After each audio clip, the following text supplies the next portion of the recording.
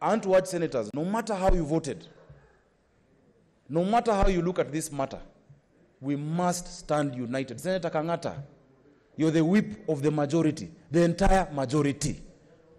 Senator Poghisio, you're the leader of the majority, the entire majority. Senator Orengo, you're, you're the leader. Mr. Speaker, you're the speaker of this entire house. I know we've said things over the weekend, I will not repeat on, on through this mic. But Mr. Speaker, all of us are yours.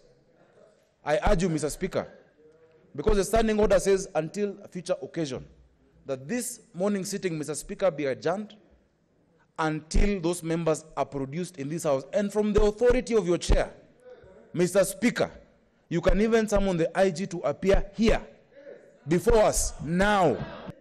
We are facing an assault on the constitutional order of this republic.